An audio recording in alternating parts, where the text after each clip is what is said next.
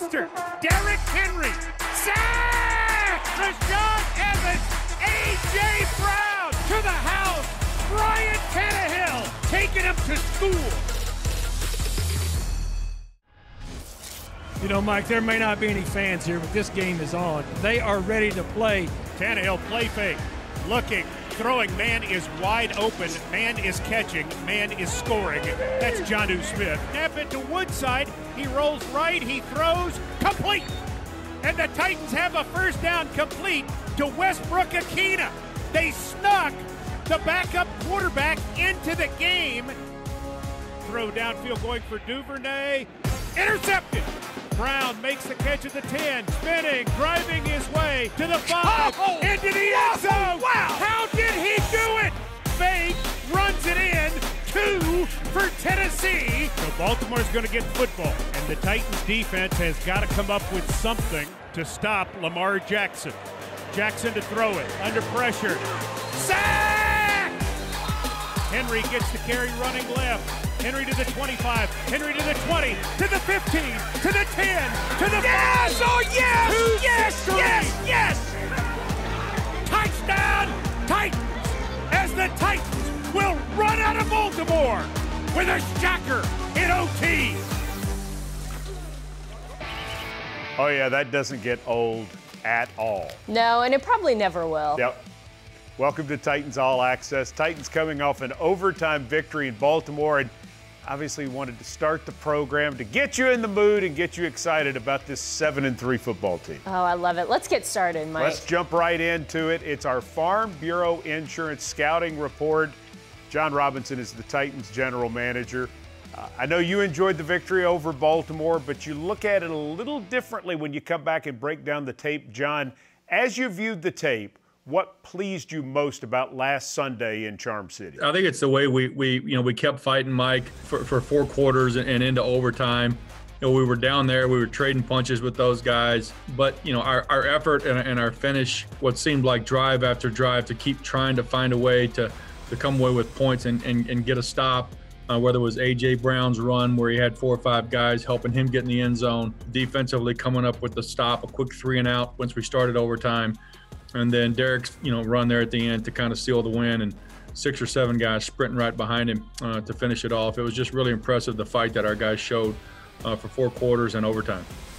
What enabled the Titans to get the passing game going in the second half of the game against Baltimore? And what do you do to keep that going into Indianapolis? Yeah, I mean, I think it all starts up front with the protection. You know, I thought we finally got some some clean pockets in there. We, we, bought enough time for Ryan to, to step up or get himself in position to make some throws. I thought the receivers did a good job of, of getting open, beating uh, man coverage or, or finding those spots in zone coverage and setting their route down, coming up with grabs uh, and, and extending drives for us. And we've got to continue that against Colts.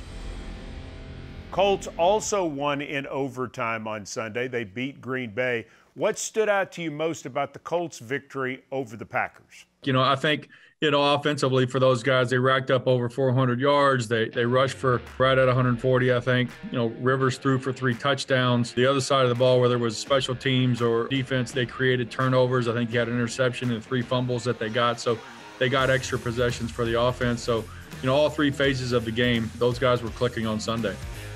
Do you get the feeling that Philip Rivers is really finding his groove with his receivers right now? And if so, what do you do to throw him off? Yeah, he, he seems to be. You know, he's he's certainly more acclimated, you know, now than he was in the early part of the season when you're first kind of kicking off. Learning those receivers, the, the timing of their routes, the skill set of the players, you know, a lot of catch and run throws underneath. We've got to do a good job of, of staying tight in our coverage and trying to create some pressure and, and getting him off the spot. When Philip can stand there on the spot and just throw the football, uh, he's a tough guy to beat. All right, John. So, what do you hope to take out of Baltimore and that victory into Indianapolis that will key a win and first place in the AFC South? Well, I think it's what we led the show off with is, you know, starting with our effort and our finish and our and our fighting. Like, you know, they're a good football team. You know, we feel like we got a good football team. We're going to trade punches back and forth. They're going to make some plays.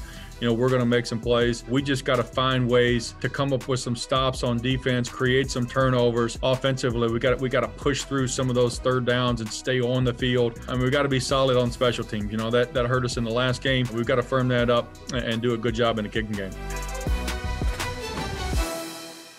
John, thanks so much for your time as always. Look forward to seeing you in Indianapolis on Sunday. Appreciate it. Thank you, guys. John Robinson and the Farm Bureau Insurance scouting report of this weekend's big game with Indianapolis. We've got a big show for you. Here's what's coming up on Titans All Access. He had the game winning touchdown in overtime on Sunday in Baltimore.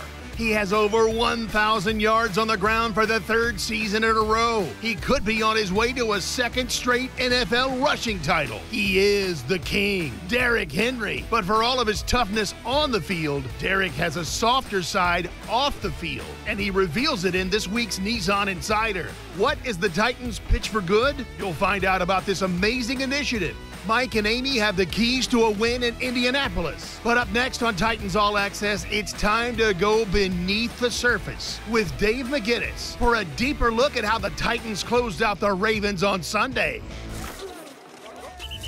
This is Coach Mack. Welcome to Beneath the Surface, powered by Microsoft Surface. Today, we are going to look at the Titans' critical, critical plays in overtime in a pivotal win against the Baltimore Ravens.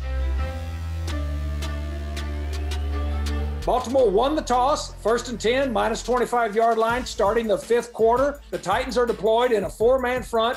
You see that the Ravens are in a pistol with two offset backs in a diamond type formation. This is going to be an option play to the Titans left. Watch how disciplined the Tennessee Titans are with this play. They've got the quarterback covered when he comes out to the right, but watch everybody gap up across the front. Everybody fits with the pulling offensive lineman. Great swarm, great tackle. This was a big, big play to be able to start off on first down. Now they're coming out here. This is 11 personnel. Watch the Tennessee Titans. Watch this unusual front that they deploy. They've got a four man front, but one of the players that is standing up is Harold Landry. Watch where Harold Landry is, is standing up and then works into the B gap, ricochets off the offensive guard. This is a huge sack. This sack was so big in this overtime now we've got third and 17. This is exactly where we want them. Now they deployed a four man front, but they are playing five under two deep coverage with everybody off, defending the sticks. This is a very nice combination rush. This is a three man game out of an unusual overload look. They run a screen. Now watch everybody converge. Everybody keeps perfect leverage. You've got leverage. You've got inside out. You've got run and hit. Big play, three and out on the first series of overtime. This was huge in this ball game. The next play that we're going to look at is the final, the seventh play in the offensive drive after they've punted. What we're looking at on first and 10 here, watch the Tennessee Titans. The excellent blocking. This is an outside zone run. This is bread and butter. Watch everybody get a hat on a hat on the outside and watch our offensive front be able to push this five man front completely past the numbers. And then Derrick Henry, watch him follow his blocks. Look at everybody, hat on a hat. All of Baltimore's covered up. Now Derrick Henry makes a tremendous jump cut, sticks his left foot in the ground, and it's touchdown Titans, a huge pivotal win in overtime at Baltimore. Up next, a special visit with a special player who also happens to be a special person. Derrick Henry is the Nissan Insider. Next on Titans All Access. Lots of highlights for Derrick Henry in his time with the Titans. And in Baltimore, he went over 1,000 yards rushing for the season. He's done that three years in a row. He is one of only four players in franchise history to have three straight 1,000 yard seasons Earl Campbell, Eddie George, Chris Johnson, and now the king, Derrick Henry. That's good company. That is great company. I am so glad that all of those people have played for us. Yes. Yeah. Well, he's rough, he's tough, he's something else. We think he's the best back in the NFL. But the part that you don't know about Derrick Henry off the field, he's a softie.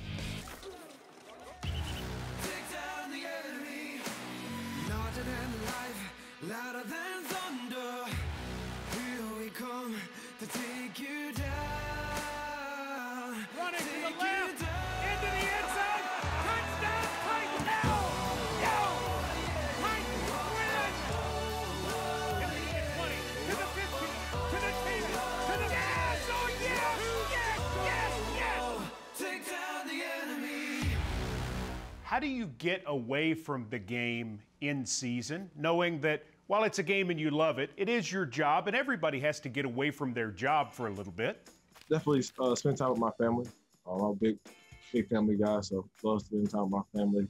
Might take a vacation here or there, but you know, I'm a, a homebody guy. Like to chill, watch movies. My daughter's here now, so that, that, that doesn't get no better than that. Spending time with her, and get to see and watch her grow, and you know, laugh and have fun, and you know, just have those moments. Why do you enjoy being a dad so much?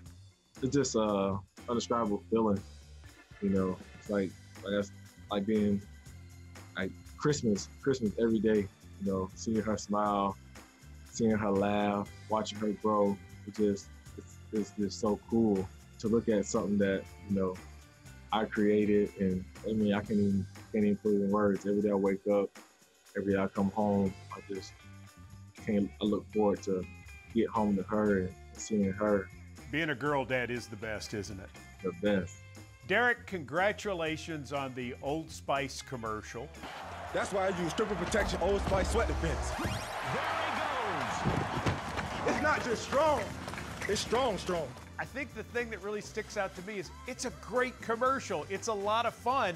Did you know what it was going to look like when they asked you to be a part of it? I didn't know what it was going to look like. I knew it had to be retro and uh, voiceover because you know a lot of going to be you know present you know with a lot of things right now because of because of COVID. But I knew it's going to be a video game theme. But the way it turned out, it looked great. It was a great job, and just happy to be a part of it. So, what did you have to do specifically? How did your preparation work in, in going to making the commercial? Yeah, they just gave me the uh, script to read, and um, they gave me uh, pointers on how they wanted it to sound, and uh, we just did it at a studio, um, and it recorded it. And they just gave me tips here and there as I read the script till I got it to, to where they liked it, and um, everything worked out well. And I'm glad that it turned out fine. And it's a great commercial. My favorite part, I think, is where you're dragging the two Los Angeles Rams through the airport. You drag them all over the place. You know, the football field, and then through the airport, and then to the workout facility, and, and all of it. You're gonna be much longer. This is gonna be a minute, minute. Quit playing. Have you gotten a lot of response from your friends and family yet to having a chance to see it? Oh yeah, they definitely enjoyed it. They thought it was funny. Uh, all sent me texts. Uh, they were laughing about it. Like I said, I, I grew up uh, watching Old Spice commercials, so for me to be able to have the opportunity, um, it's, it's, a blessing, and um, I'm glad everybody enjoyed it. Now, you've done national spots before. We certainly know about the Nissan Heisman House. So I'm wondering, had you ever driven a mower before and had you ever trimmed hedges before when you did that in the Heisman House spot that we had a chance to see this fall? I think I drove it a couple times with my uncles, trying to trim my grandma's yard and cut my grandma's uh, my grandma's grass, but it's been a while since I well, uh, I've been on one. That was a lot of fun and definitely funny, man. Uh, they always they're always creative, uh, creative and come up with good ideas uh, for those commercials each and every year with Nissan. When you were a young man in Yulee, Florida, did you ever think you'd be doing a TV commercial seen nationally or part of a TV commercial that looks like a video game? I definitely wanted to be a great football player. And, you know, for me, just watching football uh, throughout the years, me growing up and seeing all the, the greats, you know, they all were in commercials and, you know, had national attention going on. So I knew it came with the game, but main focus is being a great football player and then knew I, I knew all that other stuff will come eventually if you just, you know, play good football, keep a good head on your shoulders, be a great role model for you know, kids and you know everything else to take care of itself. All Titans fans very proud of you and happy for your success, Derrick Henry. Thank you for the time and keep up the good work. All right, thank y'all. Thank y'all for having me. It's a side of Derrick Henry you didn't expect to see. Absolutely. I don't think people get to see the softer dad side. And now we know why he smells so nice. Yes, that's exactly right. When we come back on Titans All Access, we're going to show you something really nice the Titans are doing for small businesses and entrepreneurs in our community. The pitch for good. Explained when Titans All Access continues. Welcome back to Titans All Access. Now, the Tennessee Titans have always been more than just a football team, and they've really wanted to be a fixture in this Nashville community. One of the ways to do that is by helping out local businesses, especially in what has been a rather tough year. Mike Keith shows you the story of the Pitch for Good, an opportunity for local businesses to get involved with the Tennessee Titans. The Tennessee Titans are working with Pinnacle Financial Partners and the Nashville Entrepreneur Center to celebrate small businesses and also create unique opportunities for local entrepreneurs through the Pitch for Good Tennessee Tough. This contest is to award a local entrepreneur with a grand prize of being a Titan sponsor next year in 2021. The Pitch for Good Tennessee Tough is being held in seven rounds, and five of those are complete. We'd like to introduce the winner of round five for music and entertainment, Tim Burkhead. He created the TM app, which provides on the road support, live event consultation, and tour coordination services for live music professionals of all budgets and experience levels through a proprietary web based live event management software. Tim, thanks for joining us. Thank you, Mike. I appreciate it. Also joining us from the Nashville Entrepreneur Center is Bren Plummer, Vice President, Inclusion and Community Relations at the Nashville Entrepreneur Center. She hosts the virtual events and is a key contributor to this series. Bren, welcome. Thank you. I'm grateful to be here. All right, let's talk about the idea behind creating the Pitch for Good series. Bren, take it away and explain it to us. At the Nashville Entrepreneur Center, we're on a mission to make Nashville the best place in America to start, grow, or scale a business. And part of that is shining a light on the entrepreneurs who are making our community better, stronger, more innovative. The idea was let's really elevate these entrepreneurs, making the best of what is a really, really dark time. And we're really thrilled to be partnering with the Tennessee Titans on this because it's a part of Nashville, it's a part of Tennessee. Explain the different competitions that have taken place and the two that are still to happen. We have had, gosh, Pandemic Edition, Black Founders Edition, Women Founders Edition, Music and Technology Edition, and Entertainment, Data and Analytics and Artificial Intelligence. And now we have two remaining. We have both the uh, one that's coming up next week, which is on healthcare technology. The one that's coming after that is what we're calling Tennessee Tough. So we're highlighting ventures across the state of Tennessee that are making the most again out of this moment and also innovating in ways that might be novel or surprising. What's coming up over the next two months as the pitch for good Tennessee Tough continues from Pinnacle Financial, the Tennessee Titans, and the Nashville Entrepreneur Center? We're anticipating a lot of things that are very current and thinking about this moment, but also similar to Tim's app, something that's forward casting, future casting. Entrepreneurs are so good at casting a vision for how the world should be. So I'm anticipating a lot more ideas that are looking forward into the future post COVID. What do we want to be true for Tennesseans as we look beyond this COVID 19 moment that we're in and really making the best of, of this life and of this beautiful place that we get to call home? Special collaboration between the Tennessee Titans, the Nashville Entrepreneurs Center, and Pinnacle Financial Partners. The Pitch for Good Tennessee Tough continues. Tim, Bren, thanks so much for your time. We appreciate it.